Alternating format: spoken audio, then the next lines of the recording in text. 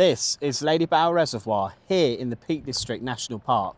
Built in the 1930s, it's not only one of Britain's most picturesque reservoirs, it also hides one of the most fascinating and frankly bizarre bits of civil engineering in the whole of the country. Because just over there are the plug holes. And they look something out of science fiction, but they serve a very real and important purpose.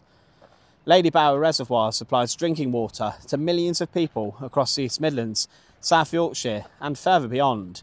But like every reservoir, it has to manage what happens when too much water arrives, especially in heavy rain or after snow melts from the surrounding hills. And that's where the plug holes come in. Officially, they're called bellmouth slipways, but most people call them the plug holes. And once you see them, you can understand why. At full capacity, the reservoir holds over 27 million cubic metres of water. That's around 11,000 Olympic swimming pools. But unlike a bath, you can't just let the water overflow the edges. The dam itself has to stay stable and intact. So instead, excess water flows into the concrete funnels. Each one is around 24 metres wide, that's around 80 feet, and they're also 15 metres deep, or roughly five stories. The water drops into the plug hole, travels through a hidden tunnel carved into the hillside and is discharged safely downstream into the River Derwent, preventing floods, protecting the dam, and also keeping everything under control. Now, you might be wondering, why not just build a simple overflow channel like many other reservoirs?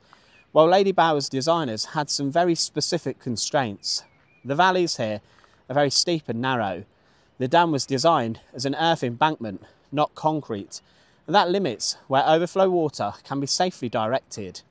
The bellmouth design allows for a controlled automatic release of water whenever the reservoir reaches full capacity without needing gates or active management, and they're incredibly effective. Each of the plug holes can handle around 14 cubic metres of water every second. That's thousands of litres rushing through every moment during heavy rain. Now, Ladybower was constructed between 1935 and 1943. In fact, building this reservoir came at a cost the villages of Ashopton and Derwent, which once stood in the valley and probably around here, were flooded to create the reservoir. Their remains sometimes do re-emerge during periods of drought, but most of the time they lie silently beneath the water. And like many major infrastructure projects from the early 20th century, the engineering here is simple, robust, and built to last. The plug holes have operated more or less continuously for nearly 80 years, handling everything that Britain's famously unpredictable weather can throw at them. Of course, these aren't places to go swimming or to get too close to when they're operating.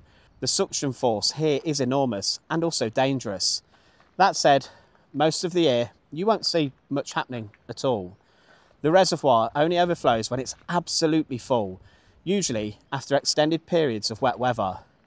So next time you're in the Peak District, take a moment to admire not just the view, but the extraordinary engineering that quietly protects millions of people using nothing more than gravity, concrete, and some very big plug holes.